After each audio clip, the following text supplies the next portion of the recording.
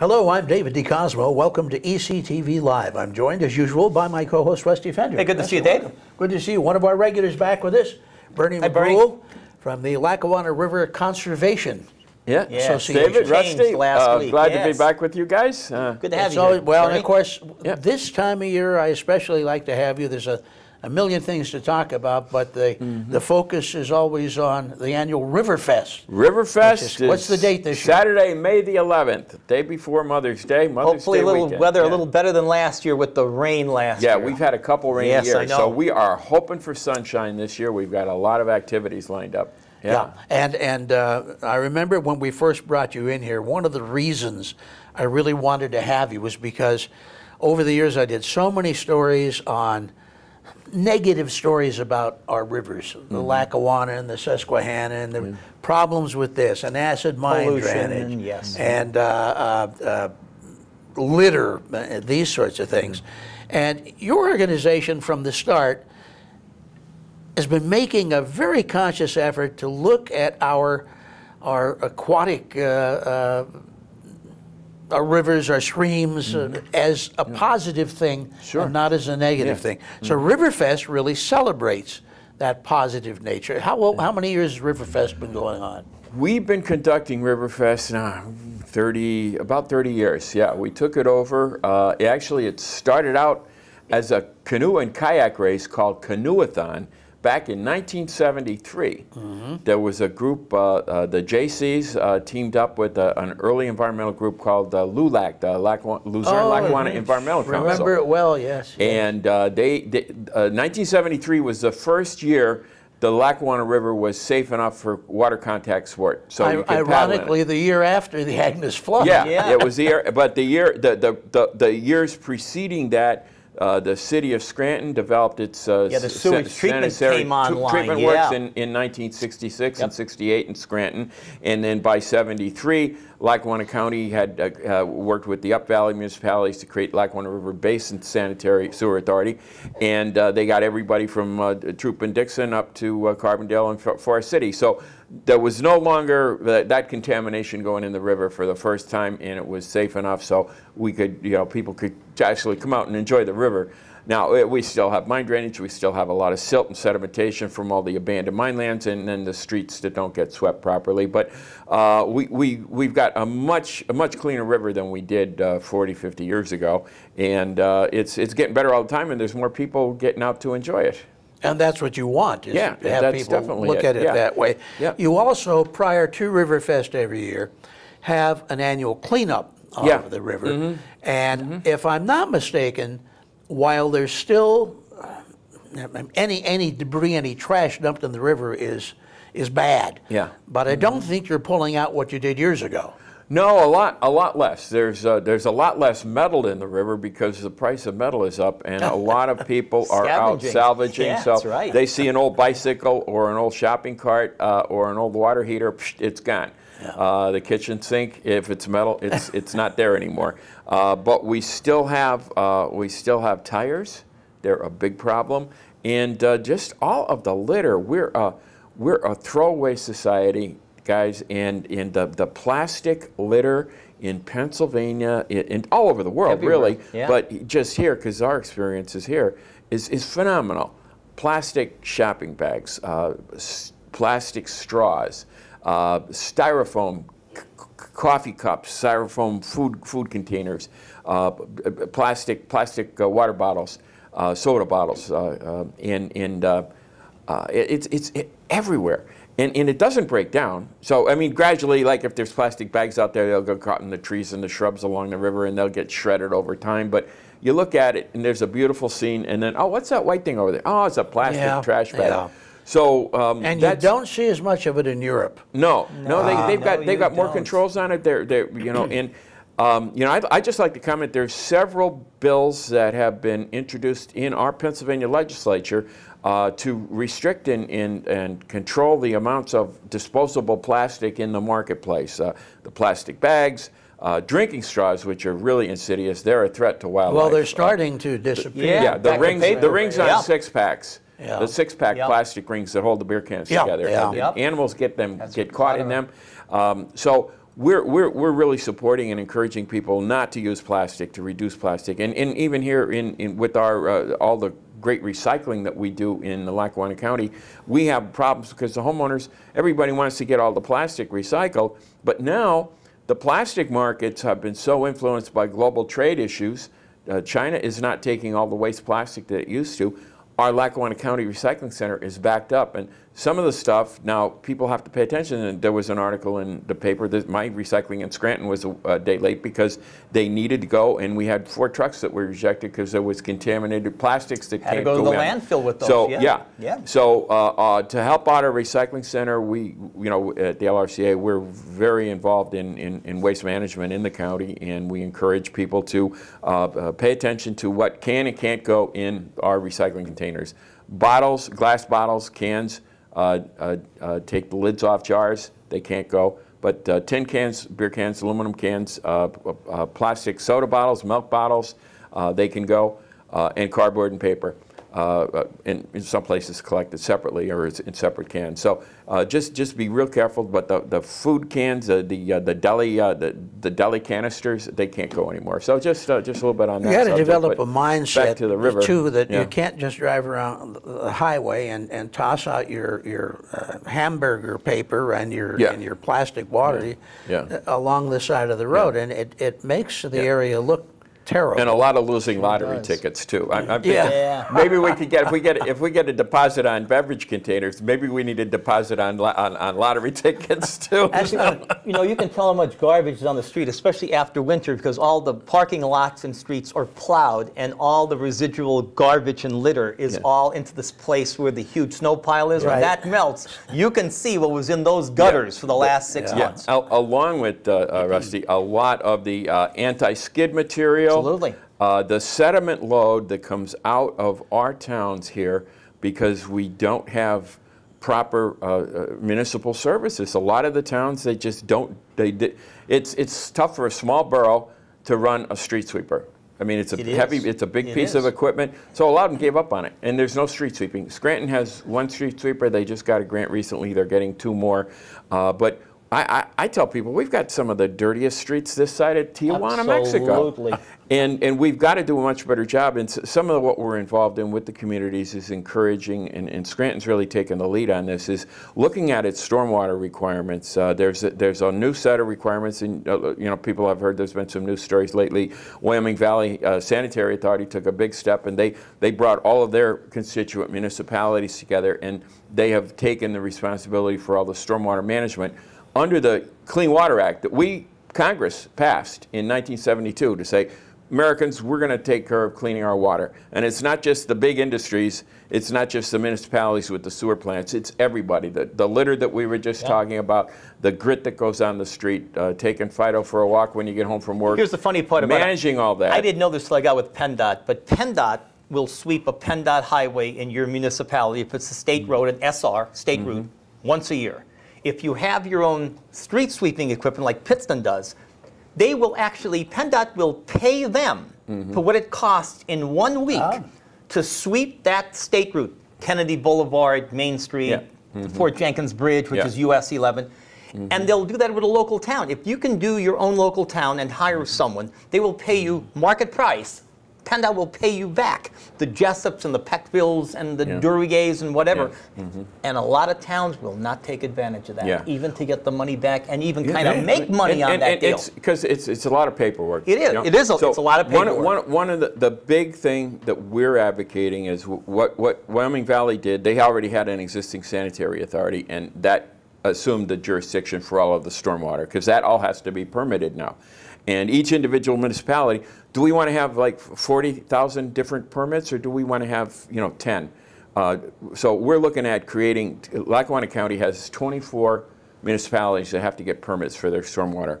Why don't we just get one? Just pull it all into one agency, give the boroughs and the townships, give that authority to, to, to a, a new stormwater authority, and then that agency can look at maintaining all the streams, maintaining all the streets, maintaining all the paperwork that is needed to, to do that, getting equipment. Be a lot simpler that way, sure. Then they'll have, they'll have professional engineers on staff. They'll have technicians that are trained on staff. They'll be able to get the permits. Now, we'll be paying a new fee for it. Nobody likes to pay a fee. But for, you know, 30 to 50 to 60 to 100 dollars a year, and for the business, it's going to be a little bit more, but there'll be credit programs that we can work on and redesigning parking lots and things like that over the next 20 years that can reduce those costs and get everybody proactively involved. But what we can do is we'll have a, a, a, one agency that has the, the professional and financial capacity to, to match bigger federal and state funding sources. So we could get money in here on, from the federal government, from the Bureau of Mine Reclamation, to fix all of our creeks. We'd have a strong partner with the local stormwater agency because they need to reduce sediment.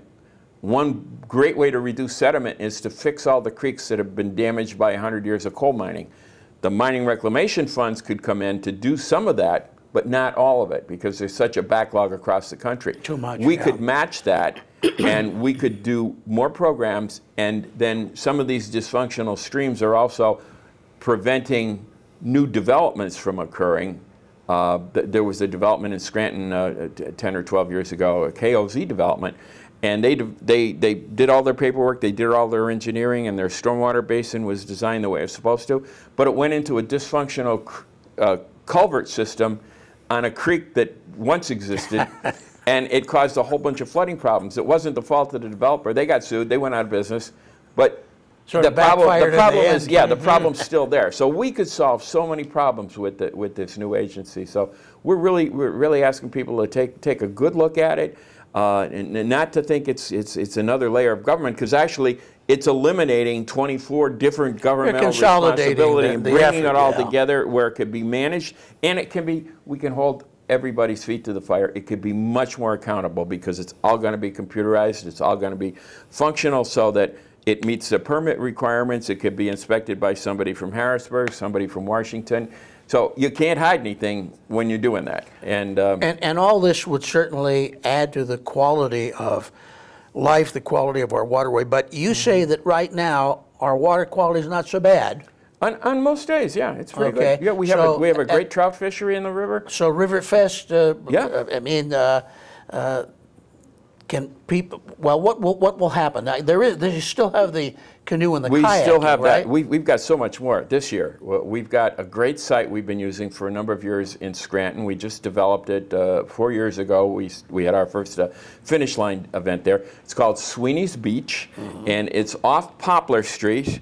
Uh, right along the uh, Lackawanna River in the Pine Brook neighborhood of Scranton. So if you can find uh, Scranton Prep and Bernie Honda, that's Poplar Street. Follow it down to the river. Before you cross the river, if you, if you cross the river, you're, you're over at the Scranton Public Works Garage. It's on the east side of the river. Right at the riverbank, you turn left off of Poplar Street, and it's a gravel driveway. We have got a big parking area that the neighboring business lets us use, and uh, we've got it's a, an old piece of city-owned property that was basically cut off. There used to be a railroad where the driveway is, and the drive the rails were removed so the driveway it could be installed for Lackawanna College to get to a property for their practice fields. And when they did that, that opened up this property that the city had that nobody could get to before because of the railroad tracks. And it was a it was a a, a, a hobo jungle. It was homeless camps. There was we pulled out 20 big dumpsters of trash from the site. then we got some grants. We graded it all out. We got rid of the knotweed for the most part, and we're still fighting that. It's an invasive plant, the Japanese bamboo they call it. The railroad And- bridge was removed two several years ago across toward Providence Road. Yeah, hmm yeah, that bridge was removed for the flood Yes, control. So correct. the railroad, So yeah, the railroad, the the railroad was abandoned. centered then? Yeah, so we've Uh, got we've got six acres there, and we've got a big lawn. So we've got tents set up. We've got uh, vendors. we've got craft vendors. we've got food vendors. And this year, uh, uh, Paul Bechtel, who's uh, our vice president, and he, he's the chair of the event this year. He's he's he's a father of two young boys, so uh, a six and an eight-year-old uh, young fellows. So he's really focused, as a lot of his peers are, on raising kids, and they've got. So they've got a whole bunch of kid-centered oh, activities great, this year. So great. we're going to have we're going to have science in, in, in environment called uh, uh, uh, uh, uh, an area where the kids can learn about the habitat. Uh, one of our other directors uh, uh, works for a, a, a, a distributing company. She's bringing some cardboard. We're going to have a cardboard slide down the hill. um, we're going to have the kids get up. Uh, we're going to be planting uh, vegetation along the river. So it's it's a real hands-on uh, opportunity for fun for kids and families this year. That sounds like the slide they do at the Little League World Series. Yeah, women's Yeah, yeah, sport, it'll that's right. to that. That's yeah. like that's that's like right, other yeah. than the games, that's the highlight. It of, is down that one embankment. It That's is. Yeah. right. Yeah. Uh-huh. So you've got a, you've got a bank there you can you can slide on. Yeah, yeah, we do. And uh, there's there's music, and we've got we've got beverages. Uh, LT Verastro's uh, uh, coming up with uh, with some uh, nice beverages, and we'll have an area for the adults too, so they can just look over the fence and make sure the kids are okay. You got bands there or what? Um, we got uh, we have uh, D- DJ J- uh, Jack is there this year, and uh, he's going to open up the, his mic. Uh, we're expecting people to uh, bring guitars, and uh, just sort of we're, we're going to have some River Jam band uh, going on. so you don't have to be a, a, a kayak or a canoeer to enjoy this event. Then. No, no, and we've got uh, we've got regatta, and so if people want to get dressed up and decorate their boat, we're going to give out prizes for, for, for funny costumes and and uh, imaginative decorations, and that'll be kicking off about three o'clock. And not to not to forget, we've got uh, probably I think the world's best duck race, uh, the Lackawanna River Duckathon, and uh, we've got we've got uh, uh, ten big racing ducks. and they're trained. They've been they've been racing in the Lackawanna River for about 20 years now, and you could you could buy a duck ticket, and uh, the winner uh, could take home uh, 500 uh, dollars is the first prize. And it's, that's U.S. currency, Yankee dollars. You can spend them anywhere. I hear they're in great demand all over the world, so you can have a lot of fun. Bet on that. Come on down, buy a duck No, ticket. you have these giant inflatable ducks. no, they're just regular sized ducks. But they uh, float, yeah. They float. Yeah. And how long do you? They were made in Ohio. They're They, they weren't ducks. made overseas. They're plastic, but they were made in the United States. Good. That's good. And And how far do you do you run They they they race about hundred yards. Yeah, and uh, What's the date on the event again? Saturday, May the 11th. The 11th. Because Yeah. that's, that's near. I think Kentucky Derby runs first. Yeah, Well, I'm that's not right. Sure. It's So this around is then. the next biggest race. As the And the Kentucky entire Derby. country. Yeah, after after the Derby, after your after your horse comes in first in the Derby, you, you want to see your duck come in And that's the Belmont and everything Yeah. comes after that. You're yeah, right. That's yeah, number yeah. They have Bernie. to wait. They have to wait for our our. You know, yeah. that, now that brings up that that uh, that brings up comment brings up a thought in my mind because you get a, a good response to the River Fest. A lot of people come down there, whether it is to participate on the river or to enjoy the vendors and enjoy the music and such. Two days later, those the River Fest is over. Are people using the river? Oh yeah, all the time. Um, people are using Sweeney's Beach a lot more too, and uh, there's sites like that. There's there's more borough parks that have been created along the river. Uh, we we work with our main partner. Uh, the Lackawanna Heritage Valley Authority to create They've the got the Heritage trails, Trail, right? and that's being used. The half marathon was just run run on part of the trail Okay. here in Scranton. Uh, we have the D&H distance run. We, we partner with the uh, Rail Trail Council of Northeast Pennsylvania in the upper watershed. Uh, we through the through the Rail Trail Council, we've acquired the upper uh, Delaware and Hudson, the old Delaware and Hudson main line up over Mount Ararat and up into New York State, and that goes that actually helps us protect the whole uh, uh, 15 miles of the upper Lackawanna watershed above Carbondale because our partner, the Rail Trail Council, owns that old railroad embankment. And um, we've just made some huge improvements up there. We, we partnered with, um, uh, with the uh, uh, uh, UGI, the gas utility. They needed to run a pipeline. They, they had an easement. When we acquired the railroad 20 some years ago, uh, we had worked with UGI because they had a pipeline in there uh, on the old railroad bed, and they actually had a right to put another pipe in. So they came to Rail Trail Council a couple years ago and said, "Hey, we need to put another pipe in uh, to service the, The uh, the turbine plant Yeah. up in Jessup." So um, they needed that extra capacity. So they said, "Well, we said, well, we we have a, a trail that we we built there." Uh, so they said, "Well, we'll re- rebuild the trail." And gosh darn, Oh. they they have spent another year after they installed the pipeline to make sure that that trail was brand new, to- met our specifications, and not only that, they they restored all of the original railroad drainage. So I really, really want to give a big shout out and a thanks to uh, Tony Rarmar and his colleagues at UGI for And- all the great work they've Linde done. and the Linde and, and Linde, Corporation Linde was the who ran- contractor. yep. Scott Linde, And uh, the- everybody pulled together up there. They did a great job. So it, it shows the kind of partnerships that we build because we're not we're not against something.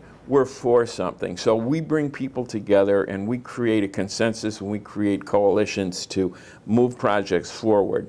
And um, so, Yeah, and while I think of you as a an organization that really is, is supportive of improving the water quality in our river and our streams, by the same token, these trails that, uh, that don't always necessarily run alongside a stream or a, or a river are so valuable to our area recreationally. People are looking for things. There are more and more runs now. Yep. Uh, Bicycling has become big again, uh, Yep, huge. where there are just trails you can use, but Mm-hmm. then there are also events. And I get, you know, the more events you have, a river or trail involved, Mm-hmm. the more people will understand what we have here, Mm-hmm. why it's important to maintain it, and, Yeah. and how we can expand on what we have. Yeah, exactly right, Dave. We have more eyes and ears and noses and feet uh, uh, along the river now uh, and on the river, paddling, fishing, running, jogging, bicycling,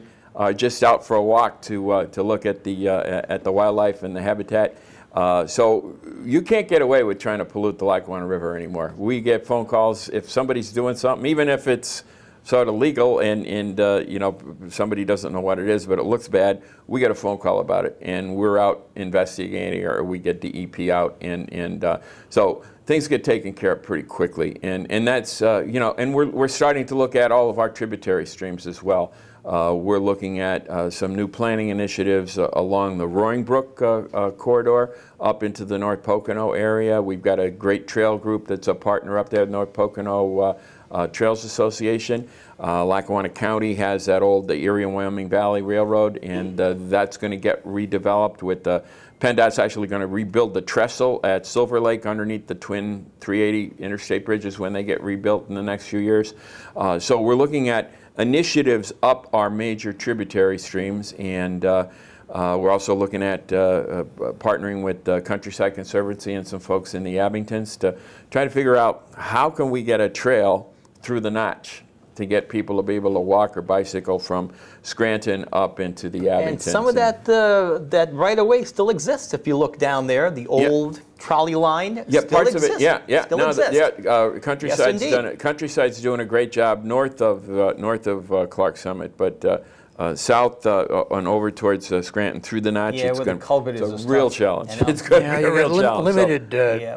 limited geography to work We're, with we're there, I so guess. lucky to live in this railroad area to take, you know, the Ontario Mm-hmm. and Western and Central of New Jersey and D&H, Yeah. Mm-hmm. which would have been land abandoned and probably bulldozed Yeah. and make these trails, which are so immensely popular. Yeah, and, and the popularity of these recreational resources that we're building along our river that's a lot cleaner than it was, it's really now a critical part of our business infrastructure. It makes somebody coming in to think about locating a business here, it gives them some opportunities to say, hey, these people care. They have a group that's caring about the river. They have a group that's building trails. Uh, they, uh, they have a really active uh, uh, uh, population. All the younger people are involved in all these outdoor activities. Uh, so it, it makes the area a, a lot more attractive for business investors, for anybody that wants to come up here. And, and uh, it's, it's a great uh, family-friendly community, and I, I think these resources are being developed now to the point where Some they're a major portion, major part of our of our economic development vision, looking into the future. Some of our assets, we, we don't realize the treasures that we have. And I mean, we're talking Lackawanna County, but let me switch to Luzerne for just a second. where I, I live in mm-hmm. Luzerne. I'm not far from a very small stream there. Never even gave it a second thought. I see it running and gets high. I get worried sometimes. I saw a guy with a fishing rod. I said, what, what, what's in there? They don't stock this. do They said, no. He said, there's native trout in here. Mm-hmm. I, I had no idea. Yeah. Uh, so I'm sure up in Lackawanna County we have some similar situations. Oh, yeah. Streams that are in mm-hmm. fair condition maybe can be improved even more, mm-hmm. and again become a real asset to the area. And we have to remember the most important motto of this whole deal. We all live downstream. yeah, yeah, of that's somebody. true. Right. Yeah, yeah, yeah. That, that's Yeah. that's very true. Yeah, we all have a responsibility to our neighbors. Yeah. Sure. Uh, time's running out, so once again, let's do a quick recap on Riverfest date, time. Yeah, Riverfest is is Saturday, May 11th, and it includes uh, the the Canoeathon, which is a canoe and kayak race, and and folks can visit the LRCA website, which is www.lrca.org. Uh, they can visit our Facebook page, and there'll be links on our site and the Facebook page for registering for the canoe race or the kayak race, uh, buying duck tickets. Uh, uh, there'll be a schedule of activities at the finish line. I don't think we've had the, the exact schedule uh, up uh, on the site yet, but there'll be directions on how to get to.